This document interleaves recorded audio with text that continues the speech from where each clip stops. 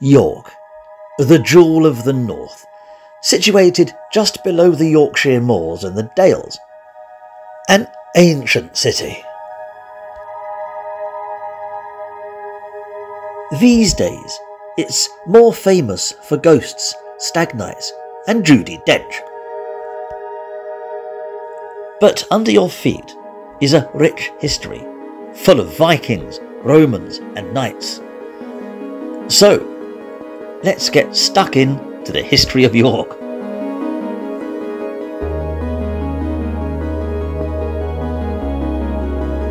With the death of King George III, uh, the Prince Regent took the throne as George IV. Prior to this was the time where Europe turned its cannons to the emerging threat of Napoleon, and terrible wars were fought with the Battle of Waterloo concluding these wars in 1815. Now, focus is once again on arguments between Catholics and Protestants, and politics between Whigs and Tories. Though, I'll quickly clarify the political situation around this time. During the wars, the Napoleonic Wars, in 1812, Spencer Perceval, the Tory Prime Minister, was assassinated by an anti government agitator, sending shockwaves throughout the empire. This results in a vote of no confidence as the new Tory candidate, Robert Jenkinson, is rejected, but eventually gets the job back when the Prince Regent becomes king. Right, and now, the Tories are still in power, with Robert Jenkinson, the second Earl of Liverpool, as Prime Minister. And he'll retire in 1827 after suffering a stroke, leaving Chancellor George Canning as PM. Only for him to have a stroke also. So he retires, and then dies on August the 8th. The next chap, Frederick Robinson, aka uh, Viscount Goderich, then takes the top spot as Prime Minister. Uh, this will only last a year before he is ousted as leader by none other than Arthur, Duke of Wellington, the hero for the Napoleonic Wars. And as his Home Secretary is Sir Robert Peel.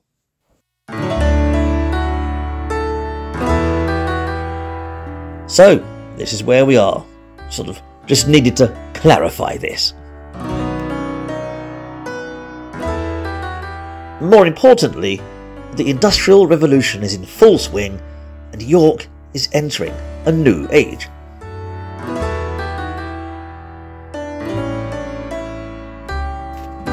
Though not everybody likes the idea of this Industrial Revolution, and a group called the Luddites have emerged, opposing the use of machinery to replace workers.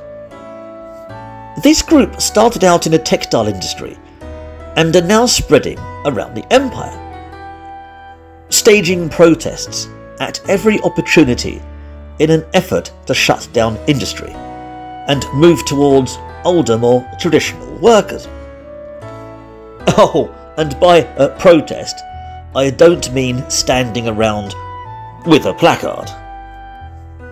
The term spanner in the works may come from this lot it might not, but a lot of suggestions that it does, as the Luddites often would sabotage machinery by doing just that. That was what they meant by protest.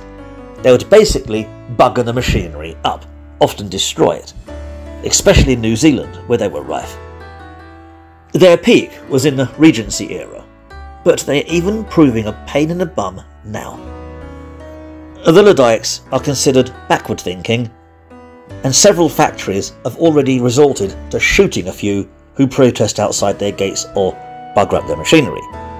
There's even a government response that brought military action against them. It's a capital offence. 14 Luddites were hanged outside the York Castle prison. Oh, and in case you're wondering what's going on there, well, quite a lot. For a start, under George III, a water mill was built in the private part of the tower Uh, but this was powered by a steam engine, which irritated the inmates in a prison opposite. The overcrowded prison itself came under fire politically due to it not being fit for purpose. In the era of public executions, we're becoming a thing of the past about now, and the method of hanging by strangulation was replaced by the quick, short drop and sudden stop method that we are familiar with. So they are no longer having big, massive crowd gatherings in the Old Bailey courtyard.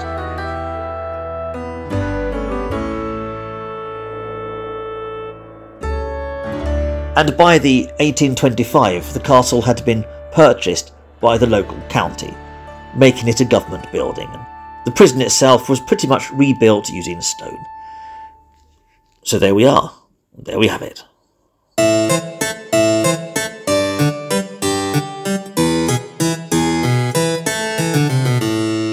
But, as I said, York was entering a new era. And most people had fully embraced the industrial age, especially in York.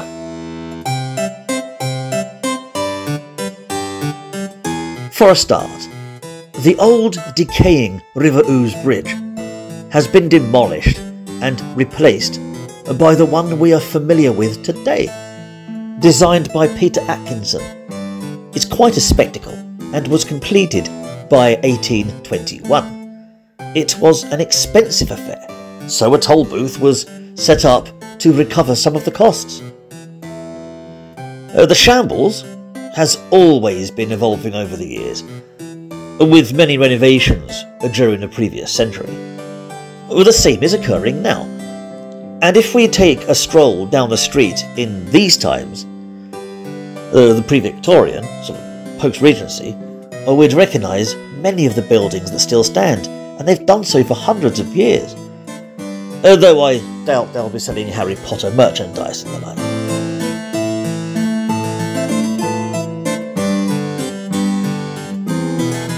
Also, if you know your chocolate and uh, candy, then the first Rowntree's shop opens up in 1822.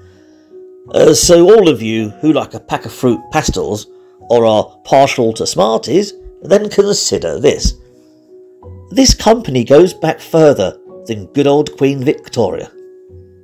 But before we get into her, old King George would pass away with no heirs, so his brother William would take the throne. Good old silly Billy. But prior to that, you have Jonathan Martin.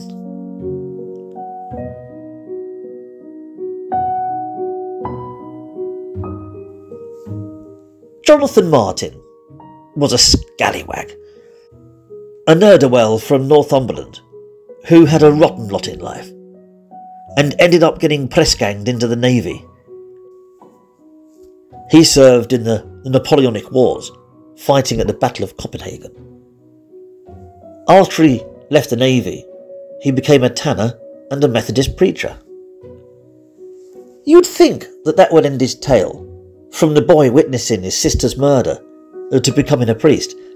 Uh, but no, he is outspoken against the Church of England and begins uh, disrupting the sermons in churches. he's becoming a right pest. Then he acquires a pistol and threatens to kill Edward Legge, the Bishop of Oxford.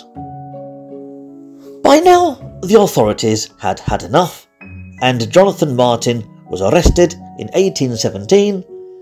He's deemed mentally insane and sent to a lunatic asylum. Case closed.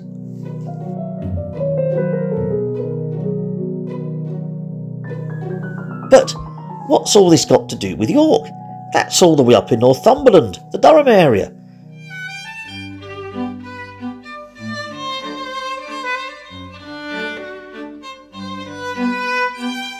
Well, in 1820, uh, Jonathan Martin escapes the asylum at West Auckland. Yes, he's caught, but the next year, 1821, he escapes a second time. He's like a flippin' Batman comic. So in the 1820s, he's working back as a tanner and a preacher, although the Methodists reject him. The cheeky bugger seems to have calmed down, and uh, actually writes a couple of books, including an autobiography. And by 1828, he's married to a second wife, his first having dying of cancer, and now he's living in York. Once again, you'd be forgiven for assuming his tale has ended, but oh no. In 1829, he is again plagued by mental illness. He's attending a church service at the York Minster. People are singing, the organ is playing, all is going well. Only Jonathan Martin can hear a strange noise from the organ that won't go away.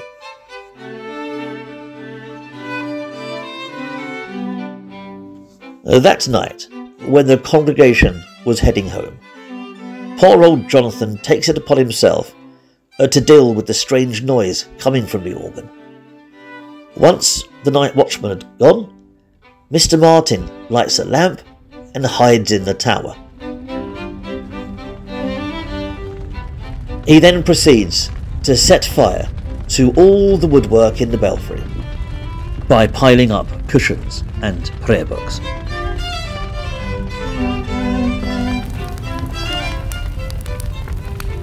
By morning, the tower was ablaze, and the choir was ruined. At the part of the building known as the choir, that is, uh, not the chaps that sing. As mentally ill as Jonathan Martin was, he was no psychopath. But the choir was destroyed, as was the pulpit and the organ, and the roof had come crashing down. The church would need some serious refurbishment. It took until the next day for the fire service to finally get everything under control and put the ruddy thing out. So it's quite lucky that the fire service was uh, established last century, eh?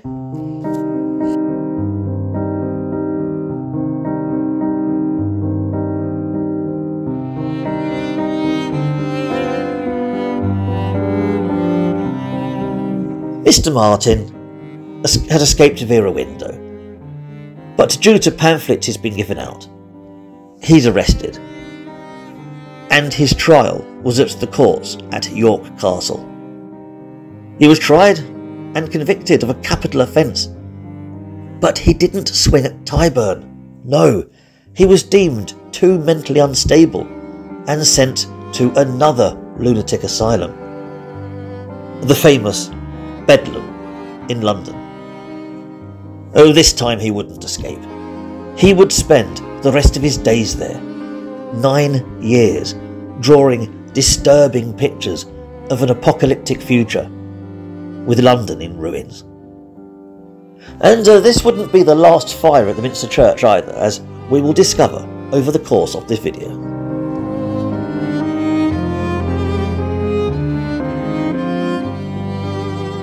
But he was not arrested by the police as we know them. It would have been a localised police force and pretty archaic for its time. Yet, in London, uh, there was a bit of a reform going on. In 1829, Sir Robert Peel has just had the Police Act passed, and Scotland Yard is born and soon these reforms would come sweeping across Britain, including York.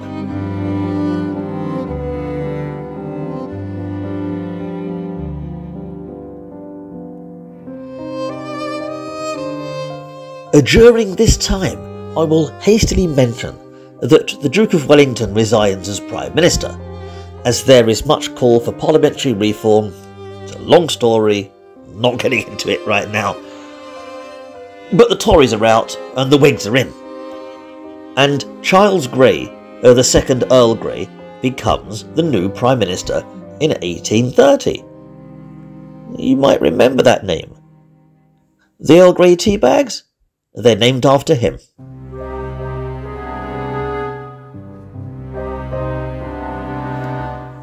Then Charles Grey resigns in a 1834 and King William puts another Whig as PM, William Lamb, aka Melbourne.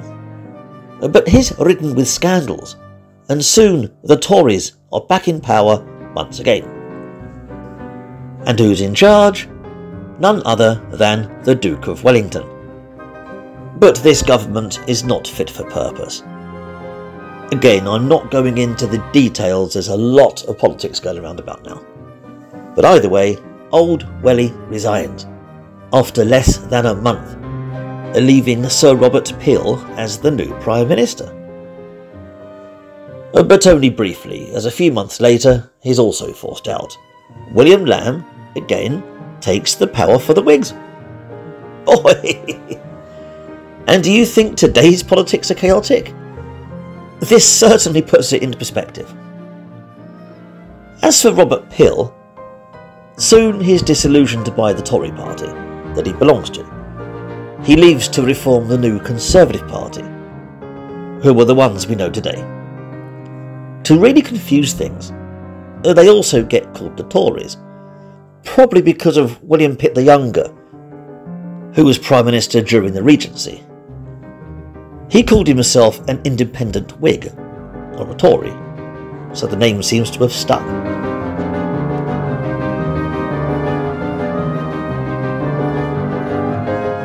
But last video, I did promise we'll be dealing with the reign of Queen Victoria, and this happens in 1837, when William IV passes away with no heirs. He leaves the throne to his young niece. She's only 18 and wakes up one morning to find the Bishop of Canterbury, William Howley, and Lord Conyngham waiting for her. Clad in only her dressing gown, Victoria was proclaimed Queen of the United Kingdom.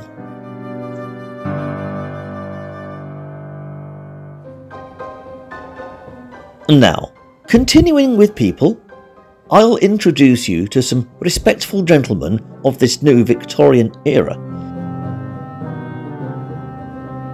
I'll start off with John Snow. No, not that one. Or that one.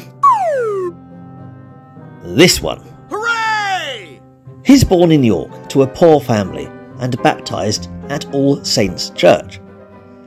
Even at a young age, he's proving he's got a mind for mathematics.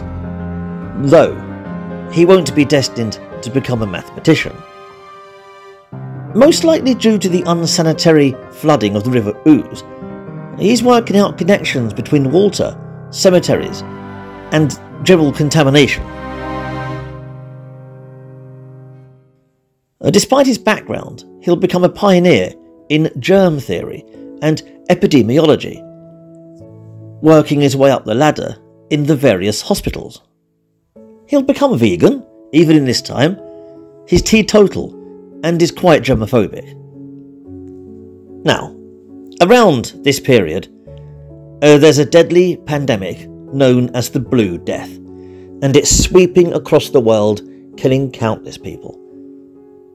The cholera outbreak came in two waves from 1817 to 1837. There's 20 years of this. It hits the north of England, including York. I only mention it here, uh, despite avoiding other plagues, because John Snow plays a direct part in this, and is born in York. Now, around this point though, he's in Newcastle, and he's figuring out how to combat this cholera epidemic. Using the methods he's tried and tested, are getting quite the name for himself. Nowadays, he's even got a pub in Newcastle named after him. Although John Snow is more famous for being the one who inspects the cholera outbreak in London, he traces it to a single pump in Soho, which leads to a revolution in hygiene. He is also well versed in chloroform and anaesthetics, but unfortunately, he'll die of a stroke in 1858 at the age of 45. Though, incidentally, Sir Robert Peel was also known as the Blue Cholera, as getting arrested by these new bobbies was known as getting collared. Hence, nowadays, when you're nicked, it's known as having your collar felt.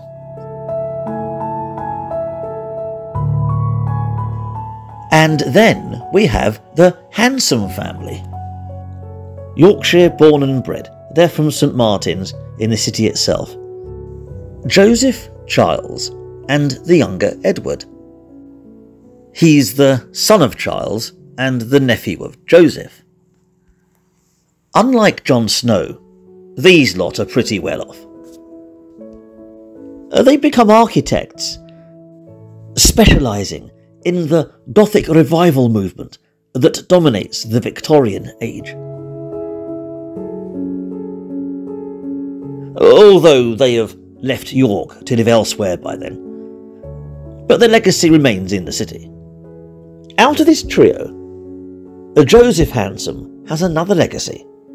He's the chap who invents the hansom cabs, another icon of the 19th century.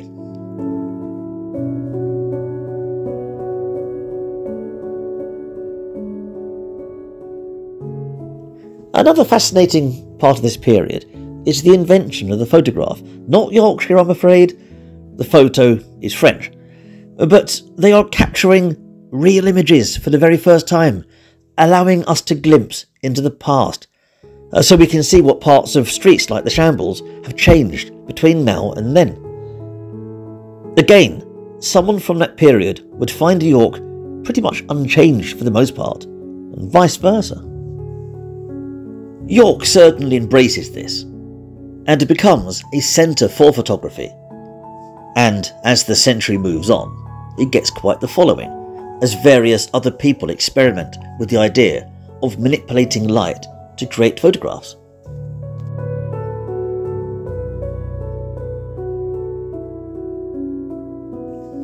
The Victorian age was also the age of the steam train, and in 1839 the York and North Midland Railway opens up a whole new world for people.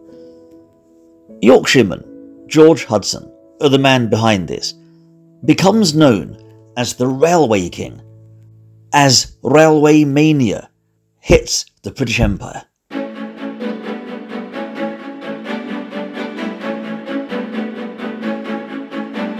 Soon he'll be connecting railways all the way from Newcastle to London eventually Edinburgh. He's pretty much the reason why the North is famous for its steam trains, and chaps like this were paving the way, connecting the mines and the steelworks that were the backbone of the industrial age.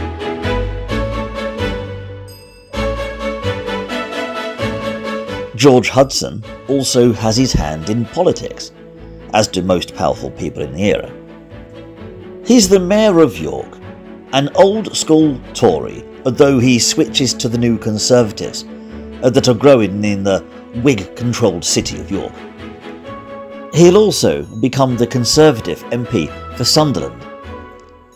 Uh, but unfortunately, he'll also face ruin by 1853, as uh, allegations of financial fraud hit him hard. He is forced to sell his railways uh, to pay for his debts.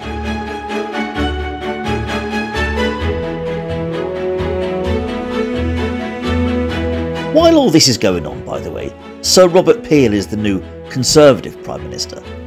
And in 1846, uh, the Whigs win the election as John Russell begins his term. Back to York. You also have gaslight appearing in York and waterworks, bringing York up to speed with cities like London. After all, uh, this is a golden era for the North, powered by hard work and groundbreaking new machinery. And in the 1840s, York has its own ironworks, providing metals all over the empire. The Walker Iron Foundry. The gates to Kew Gardens in London? These chaps. The gates to the British Museum? These chaps. It's a fantastic time to be in York.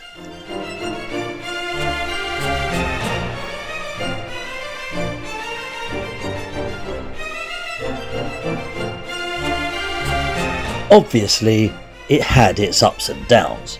Every city does. And for surrounding areas, such as the mining town of Leeds, life was tough. But minerals were needed to keep the industry going, and factories needed to manufacture the machinery that would build even bigger structures. York now had the means to truly connect all the areas, and more railways were added by the decade. The Romans could but dream of such an empire.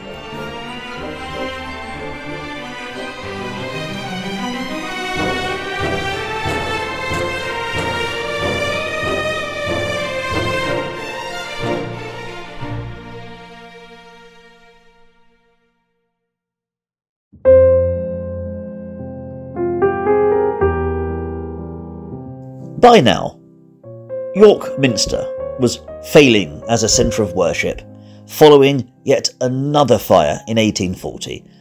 Without a roof in the aisles, the rebuilding pushes it into debt, so in 1850 it suspended, and would remain suspended for eight more years, until the Dean, Augustus Duncombe, managed to get it all back up and running.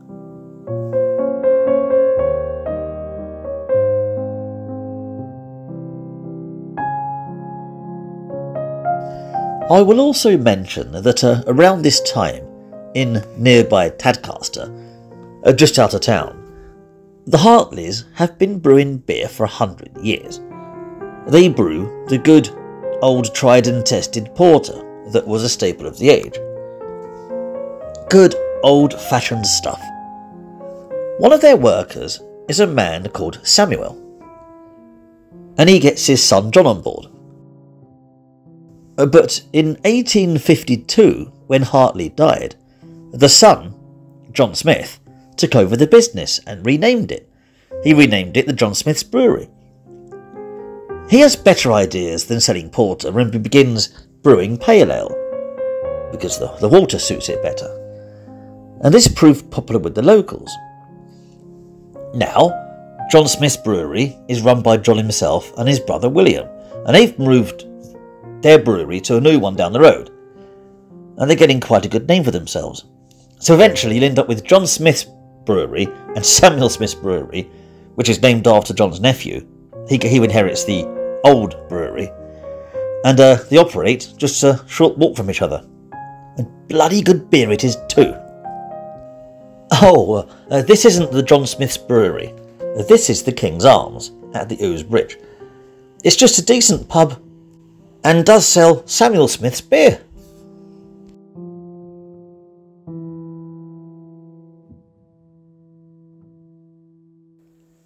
But let's focus on the river for a moment.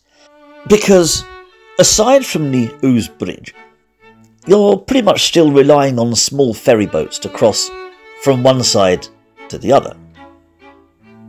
Not anymore, because in 1860, William Dredge is given permission to build the new Lendal Bridge, and that allows people to cross further up to the north of the river. But yeah, about that. It is a failure. It collapses within a year. But hey, that's the industrial age. There's some hits, there are some misses. It's all about the learning curve. These are new ideas using new technology. You can't get it right first time all the time. But anyway, people still want that bridge. So next up is Thomas Page, whose designs are a part of this new Gothic revival. This version was completed in 1863 and is the bridge we know today. Certainly makes it easier to get across the city which is also supported by the Ouse Bridge downriver. Uh, what have the Victorians ever done for us, eh? but we're now in the time of William Gladstone, member of the Liberal Party, and his rival Benjamin Disraeli of the Conservative Party. These are the two main parties in British politics about now, as the Whigs and the Tories have become obsolete and no longer considered relevant in the political arena Again, disclaimer, there's a lot more to it That's just the gist, but if you want to, you can look it up. I don't run a political channel. But the last Tory to hold power was the Duke of Wellington, back in the 1830s. The last Whig was Russell, who was defeated by the Liberals in 1866. Following that, there was a political reform in 1867, allowing more men to vote. Mm, yes, men, as the women's suffragette movement isn't really a thing at the moment, and they won't even gain victory until the next century. Right now, many men have only just been given the right to vote. Let's look at it like that. And this isn't the only reform. The prison at York Castle is about to go through more changes, because in 1877 the Prison Act is put in place. As we've learned over the course of this series, the prison system, especially in York, is chaotic and it's archaic. This prison isn't really fit for purpose. It was only really intended to be a debtor's prison. going harking back centuries.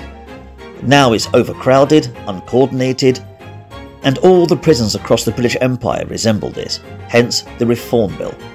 Now, rather than being part of a private council, it's overtaken by the government, who control the prison system as a network under one umbrella. Right, so you've let's go to the actual area where we are around York Castle. In the Old Bailey area, not been a Bailey in years, you've got the Crown Court, where you're tried and convicted, then slung in the prison next door, or opposite if you're female. The court itself is still in use today, unlike the prison, which will cease holding public prisoners at the turn of the century. It would still hold military prisoners, just not very many. And the castle itself would end up being declared a national monument, owned by the city. this old Norman castle has had quite the journey. Finally able to retire and to become the museum we know today.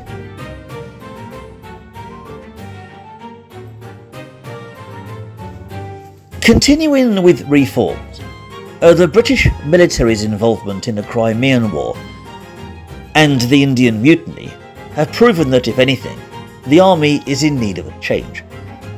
And there are many elements, from the number of soldiers to the purchase of commissions. I mean, the army wasn't run on merit at this point in time, but on the rich gentry who are often inexperienced and clueless. Uh, there is so much to this to detail here. Oh, these are less than the basics.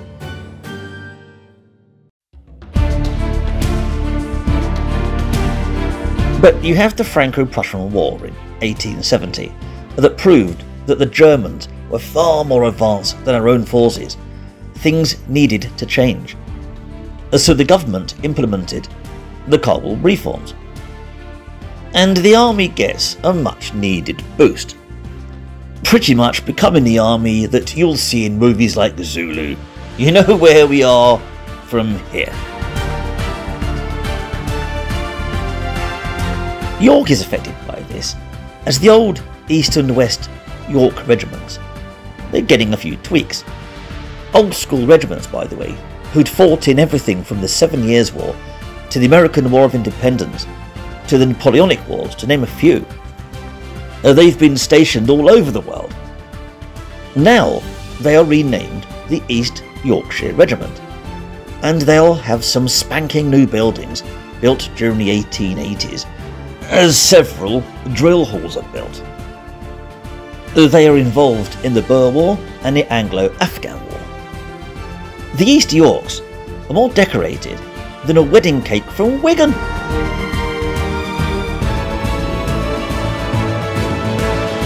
But aside from political reforms, by now, York is central to a good network of railways. It's becoming quite the hub up the north. And it's not only trains but trams, as these new tram lines are appearing, making travel easier in an ever growing city.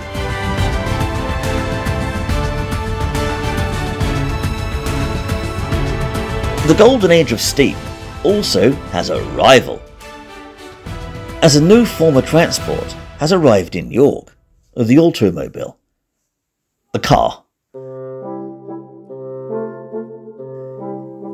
And the first automobile in the city is purchased by the Rowntree's Chocolate Company. Yes, uh, they bought it as a part of an advertising campaign. Boy, that must have worked. I can just imagine the spectacle as all these no local northern folk watch as this contraption passes by.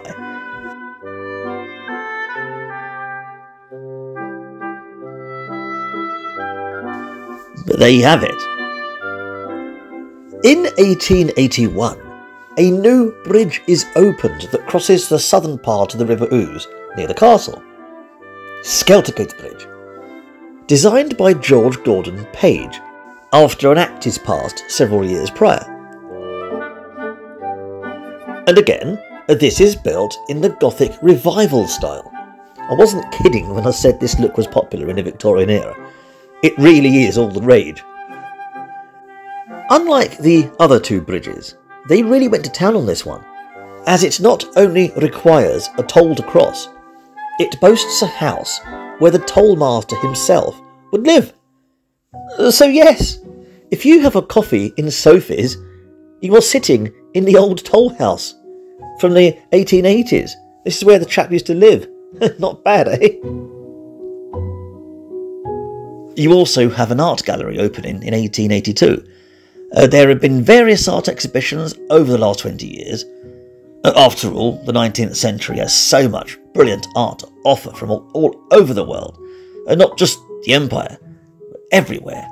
And now, finally, the city has its own permanent place to view said art. From the best eras of recent history, it's all exhibited here and the York Art Gallery is still open today.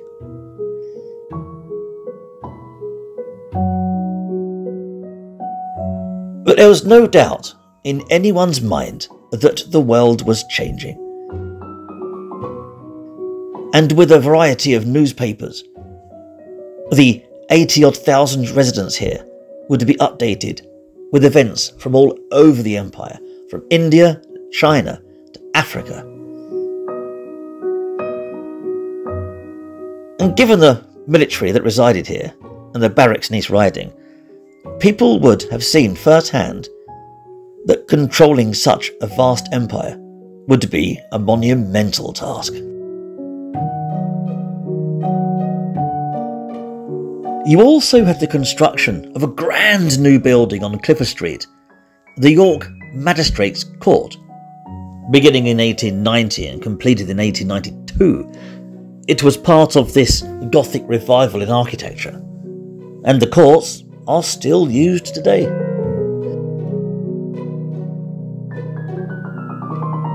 Next door to this, you have the York Institute of Art, Science and Literature, also in the Gothic revival style. It had everything from a gymnasium to six classrooms and a main hall. It had a lecture theatre, reading rooms, offices, although these days you'll know it for being the location of the York Dungeons.